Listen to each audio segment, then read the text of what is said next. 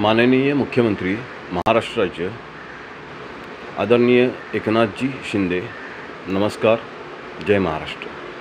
मी बाळे शिवाजी कांबळे राहणार तरुवेल सहकारी गृहनिर्माण संस्था तरुण भारत चकला अंधेरी पूर्व. मी या संस्थेचा सभासद आहे आणि समिती सदस्यसुद्धा आहे. दोन हजार चार साली मी या संस्थेचा सभासद झालो. आणि दोन हजार नऊ ते दहा या काळात मी या संस्थेचं खजिनदारपदही भूषवलेलं आहे. तसेच दोन हजार दहा ते दोन हजार तेरापर्यंत या संस्थेचं सचिवपद भूषवलेलं आहे. दरम्यान या काळात आमच्या संस्थे संस्थेने पुनर्विकासासाठी प्रयत्न सुरू केले होते. आणि आम्ही नवीन सभे सदस्य असल्याकारणामुळे काही जुन्या सदस्यांनी आमची तक्रार उपनिबंधकाकडे केली. एम ट्वेंटी बंदपत्र भरलं नाही. यामुळे आमची समिती बरखास्त केली. त्यामुळे इनर इमारत पुनर्विकासाचा वेग पूर्णतः मंदवला. दोन हजार तेरा ते दोन हजार पंधरा ॲडमिनिस्ट्रेटर येऊन बसला होता. त्याच्यानंतर दोन हजार पंधरा साली पुन्हा एक वार इलेक्शन झाली आणि सभासदांनी आम्हाला घवघवीत यश दिलं. आम्हाला घवघवीत प्रेम दिलं. त्याबद्दल त्यांचे मी धन्यवाद. त्याच्यानंतर मी दोन हजार पंधरापासून आम्ही परत एकदा पुनर्विकासाचा जोर धरला. दोन हजार सतरा साली मी अध्यक्ष दोन हजार पंधरा ते दोन हजार सतरा या काळात मी अध्यक्ष होतो. दोन हजार सतरा साली मी अध्यक्षपदाचा आणि समिती पदाचा राजीनामा दिला. माझं वैयक्तिक कारणही होतं त्यासाठी आणि काही मतमतांतरे असल्यामुळे मी हा राजीनामा दिला. त्याच्यानंतर दोन हजार बावीसला परत एकदा इलेक्शन झालं. त्यातमध्ये मीही निवडणूक लढवली. आणि त्याच्यामध्ये जे दोन हजार तेराला ज्यांनी आमच्यावर आक्षेप घेतला होता एम ट्वेंटी फॉर्म भरला नाही त्यामुळे असे नवीन आणि जुने ही लोकंसुद्धा जी ज्यांनी आक्षेप घेतला तीसुद्धा समितीमध्ये सदस्य झाली. त्याच्यानंतर इमारत पुनर्विकासाचं दोन हजार एकोणीसपासून चाललेलं आहे. प्रयत्न चाललेले आहेत त्यांचे. तर माझा तर त्यांना मी स- प्रत्येक वेळी वेळोवेळी सांगितलं होतं की बाबा नियमानुसार जी काही असतील कामं करा. दोन हजार सतरा ते दोन हजार बावीसपर्यंत मी समितीवर नव्हतो. आम्ही दोन हजार वीसला जे प्रक पुनर्विकासाची जे चाल चाललं होतं काम त्याच्यामध्ये आम मला वाट किंवा आई माझ्या सभा सद सहयोगी लोकांना वाटलं की बाबा हे नियमाला धरून नाही आहे त्यामुळे आम्ही पुन पुन्हा उपनिबंधक के यांच्याकडे तक्रार केली होती. पण ते आमची काही दखल घेतली नाही. त्यामुळे मी आमची तक्रार ही डायरेक्ट माजी सहकार मंत्री माननीय बाळासाहेब पाटील यांच्याकडे मी वा स्वाभाविक कराडचे असल्यामुळे मी सुद्धा कराडचं असल्यामुळे मी त्यांच्याकडे गेलो. कराडमध्ये त्यांना मी माझं तक्रारपत्र दाख दिलं त्यांना. साहेबांनी त्याची दखल घेऊन तात्काळ केईस वॉर्डच्या उपनिबंधकांना आदेश दिला की ह्यांच्या यांची जी काय तक्रार असेल ती सोडवा. मग साहेबांचा आदेश आल्यामुळे मग मला आम्हाला सगळ्यांना उपनिबंधकांनी बोलवलं. त्यावेळेस त्यांनी सांगितलं की समिती बरखास्त करतो मी. तर मी त्या- आम्ही त्यांनी सगळ्या दोघांनी सांगितलं सगळ्यांनी सांगितलं की समिती बरखास्त करण्याचा आमचा हेतू नाही आहे. आमचा हेतू फक्त एवढाच आहे की जे काय कर पुनर्विकासाचं काम चालू आहे ते नियमाला धरून असलं पाहिजे. बस बाकी काय नाही. एवढंच आमचं मागणं होतं. जी काय प्रक्रिया केली त्यांनी आजपर्यंत ते नियमाला धरून केलेली नाही. आता इमारत उपविधीचे नियम यांचं पालन केलेलं नाही आहे. किंवा जी सेवन्टी नाईन ए अंडर जी इमारत पुनर्विकास प्रक्रियेची नियमावली तिचं ते फॉलो केलं गेलं नाही आहे ॲक्च्युली टेंडरिंग होणं गरजेचं होतं पण तेही केलं नाही. तेही आम्ही माफ केलं. परंतु महत्त्वाचा मुद्दा म्हणजे बँक गॅरंटी बँक गॅरंटी हा सर्वात म्हणजे कळीचा मुद्दा आहे जे इमारत पुनर्विकास नियमावलीमध्ये आहे आणि ती मिळणं बंधनकारक आहे. कारण आमच्या विभागामध्ये जवळजवळ पाच ते सात प्रोजेक्ट रखडलेले आहेत. अक्षरशः तेथील जे सभासद आहेत त्यांची धुळधाण उडाली. काही लोक पेन्शन ती मिळते ती त्याचं ते भा भाडं भरतात दुसरीकडे राहून. त्यांची पेन्शन भाडे स्व ते भाडं भरतात पेन्शनचं तर आम्ही या संदर्भात तक्रार केल्यानंतर उप उपनिबंधकांनी म्हटले मग त्यांनी काय केलं नाही पुढे? पण त्यांना कळलं की हे काय वाईट चिंतत नाही आहे कोणाचं सभासदांचं किंवा कमिटीचं. कमिटीचं काय वाईट करण्याचा हेतू नाही त्यांचा.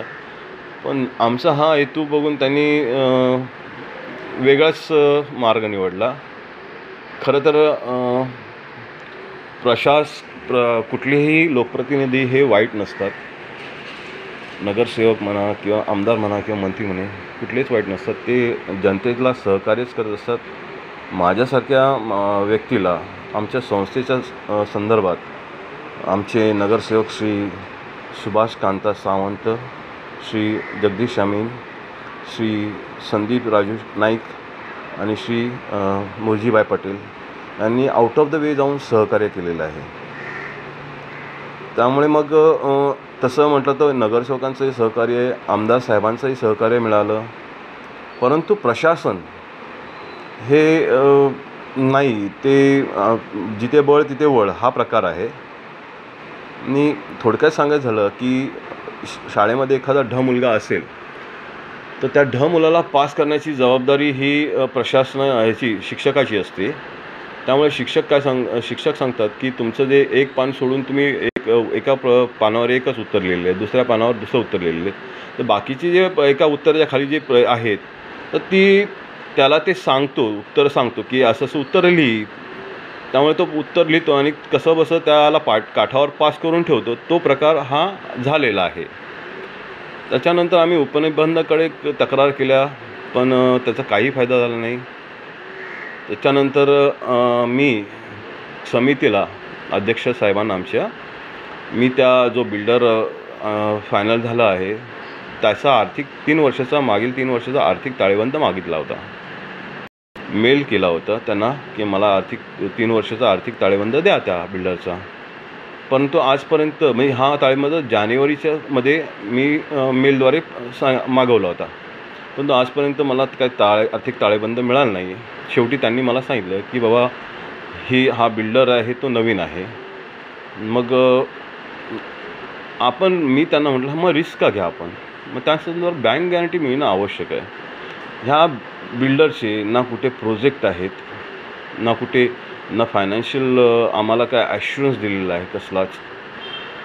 त्यामुळे त्याचा पूर्व इतिहास असं म्हणजे बिल्डर बिल्डर हा पूर्व पूर्व इतिहास नाही आहे त्याचा.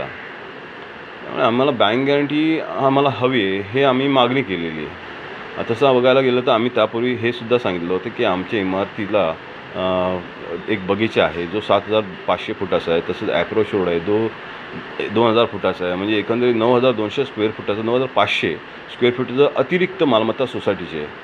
ठीक आहे सोसायटीच्या लेआउटवर दोन आणखीन सोसायटी आहेत दोन आणखी संस्था आहेत. परंतु आम्हाला त्या मालमत्तेचा बेनिफिट मिळावा आणि ह्यासाठी पण आम्ही झगडतो पण मूळ आमचं मागणं आहे की आम्हाला बँक गॅरंटी मिळावी कारण आमच्या परि परिसरामध्ये जवळजवळ सात पाच ते सात प्रोजेक्ट हे पूर्णतः अडकलेले आहेत आणि लोकांची म्हणजे अक्षरशः त्रेधा ते म्हणतात ना वाट लागली म्हटलं तरी चालेल. म्हणजे अक्षरशः वाईट परिस्थिती लोकांची. पेन्शनवर ते ज जगणारी माणसं आज पेन्शन भाडे रुप भाडं देतात त्या पेन्शनचं. पेन्शन म्हणजे भाडेरूपी पेन्शन ते देतात त्यांना. मो त्यांचा मोठा प्रॉब्लेम आहे. त्यामुळे पुढे आमची गती अशी होऊ नये. म्हणून हा आपल्याबरोबर संवाद साधण्याचा प्रयत्न आहे माझा. तसेच प्रशासकीय कर्मचारी आणि प्रशासकीय अधिकारी हे आम आम्हाला जुमानतच नाही. याला खरं तर न्यायपालिकासुद्धा अपवाद नाही आहे कारण आम्ही बँक गॅरंटी मिळण्यासाठी आम्ही न्यायालयात सहकार न्यायालयात अर्ज केलेला आहे.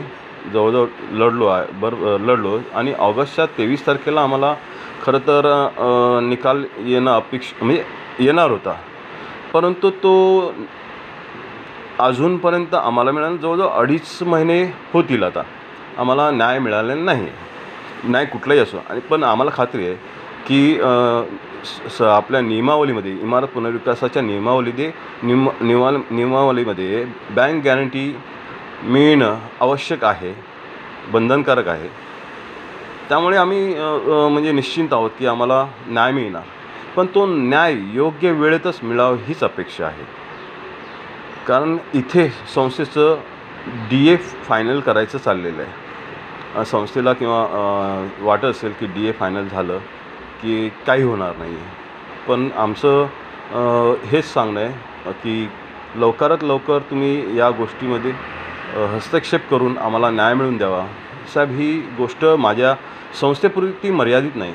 ही संपूर्ण मुंबई पुणे मेगा सिटीची ही अवस्था आहे. इमार इमारत पुनर्विकास प्रकल्पांची अशी अवस्था आहे. लोक आज रस्त्यावर आहेत. अक्षरशः मे बी शब्द वाईट नको. भिकेले लागण्याची पण अवस्था आहे. खूप वाईट अवस्था आहे. थोडक्यात खूप वाईट अवस्था आहे. त्यामुळे कृपया आपण या गोष्टीकडे लक्ष देऊन जे प्रशासकीय कर्मचारी अधिकारी त्यात न्यायपालिकासुद्धा अपवाद नाही आहे यांच्यावर वचक ठेवून सामान्य लोकांचे प्रश्न सोडवावेत.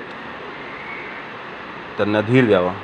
बस एवढी कळकळीची विनंती. जय भीम जय महाराष्ट्र.